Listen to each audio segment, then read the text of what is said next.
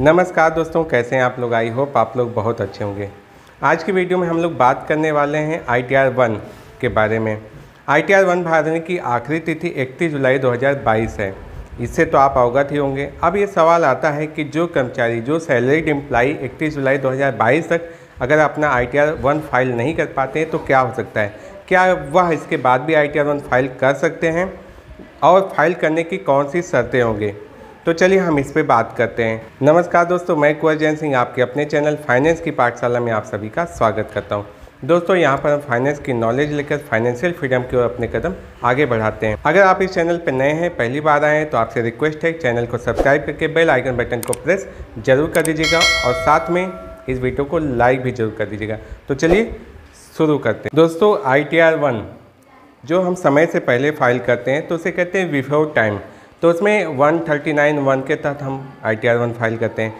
फिर इसके बाद जब आपका ड्यू डेट निकल जाता है, जो भी तय करता है इनकम टैक्स डिपार्टमेंट, जैसे इस बार इकतीस जुलाई 2022 है। बहुत बार सवाल आते हैं कि इकतीस जुलाई 2022 इस बार क्यों डेट नहीं बढ़ने की बात हो रही है? तो उस पर भी हम लास्ट में बात करेंगे कि डेट इस बार क्यों नहीं बढ़ रहे हैं। तो पहले बात कर लेते हैं कि अगर 31 जुलाई 2022 बीत गई और आपका I T R one file नहीं हो पाया तो ऐसी कंडीशन में आप क्या करेंगे? तो आप यहाँ पर belated I T R one file कर सकते हैं। बिलेटेड उसमें आपके कुछ चार्जेज हो सकते हैं फ़ाइन लगें।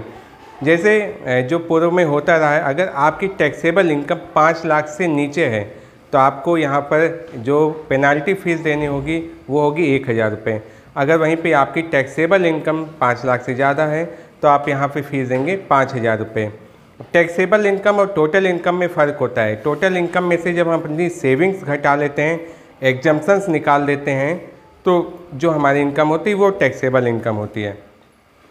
तो यहाँ पर पाँच लाख से ऊपर और पाँच लाख से नीचे। ये आप इकतीस जुलाई से दिसंबर तक, अभी जो डेट मुझे पता चल रही है, मैं बहुत श्योर नहीं कह सकता क्योंकि इनकी ऑफिशियल वेबसाइट पे ऐसी कोई जानकारी नहीं दी गई है। जो भी आपकी रिवाइज आईटीआर या बिलेटेड आईटीआर फ़ाइल करने की डेट होगी, वहाँ तक आप इसे फ़ाइल कर सकेंगे।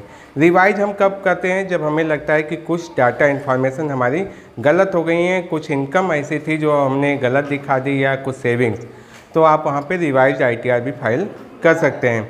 और बिलेटेड के लिए तो आपको जब तक आईटीआर जिस सत्र के लिए उपलब्ध होता है, तब तक आप बिलेटेड कर सकते हैं। और कंडोनेशन जो होता है, वो तो थोड़ा अलग चीज़ हो जाती है तो उस पर बात नहीं करेंगे।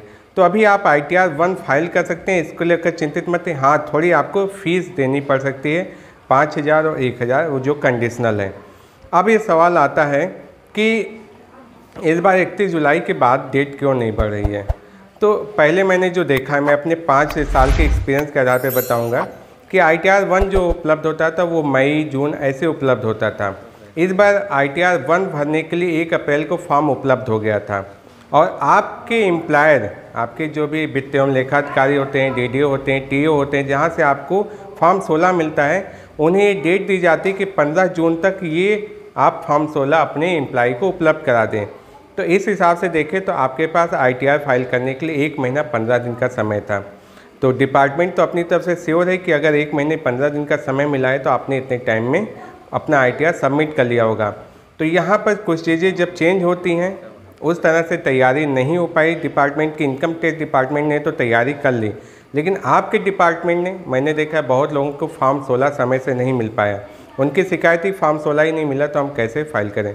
तो मैं तो ये भी सलाह देता हूँ कि आप फॉर्म 16 का वेट मत कीजिए।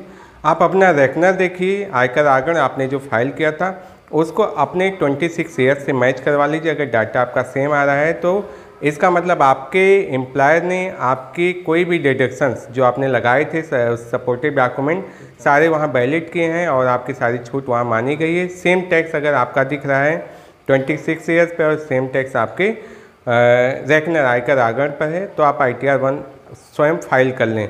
बिल्कुल वेट ना करें।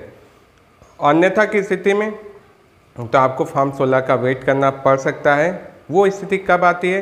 जब दोनों चीज़ें आपकी मैच नहीं होती हैं। कभी कभी ऐसा था कि कुछ आंकड़े आपके, जो आपने, आपके एम्प्लॉय के थ्रू कहीं थोड़े गलत हो जाते हैं, जैसे सैलरी का हो गया या टैक्स का पोर्सन हो गया तो वहाँ पर आप, ये ऐसी विसंगति में भी आप, अपना आई फॉर्म नहीं सबमिट कर पाते हैं। तो आप अपने एम्प्लॉय से संपर्क करें, उसे सही करवाएँ उसके बाद ही आईटीआर फ़ाइल करें। अभी आप सोचे होंगे कि इकतीस जुलाई बीत जाए तो दोस्तों थोड़ा तो नुकसान यहाँ झेलना पड़ सकता है। हाँ अगर आपकी पाँच लाख से नीचे इनकम आ रही तो कोई बात नहीं है।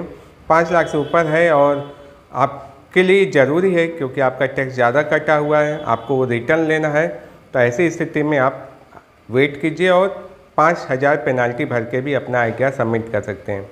तो ये कंडीशनल हैं। अभी इसके लिए इकतीस जुलाई हो चाहे आप, आपको इकतीस मई आप अगस्त लग जाए, सितंबर लग जाए, आपको ये चीज़ें करनी पड़ेंगी। तो फ़िलहाल मेरी तरफ़ से इतनी इन्फॉर्मेशन दोस्तों, ये रहा आई टी आर वन को लास्ट टाइम के बाद कैसे भरा जाएगा, और उससे संबंधित जानकारी। अगर आपके फिर भी कोई सवाल है तो आप कमेंट बॉक्स में ज़रूर लिखिएगा। मैं कोशिश करूँगा कि जल्द से जल्द आपको रिप्लाई कर सकूँ। वीडियो को लाइक करने के साथ साथ अपने दोस्तों को शेयर ज़रूर कर दीजिएगा, क्योंकि बहुत लोग चिंतित हैं कि आई टी आर वन अगर लेट हो गया, इकतीस जुलाई 2022 के बाद क्या होगा। तो ऐसी कंडीशंस में उनको हेल्प मिल सकती है। और ऐसी ही यूजफुल इंफॉर्मेटिव वीडियो आपको मिलती रहे, इसलिए चैनल को सब्सक्राइब करने के साथ बेल आइकन बटन को प्रेस ज़रूर कर दीजिएगा। चलिए दोस्तों, मिलते हैं नेक्स्ट वीडियो में। ऐसी इन्फॉर्मेशन नॉलेज अपडेट के साथ, तब तक के लिए नमस्कार।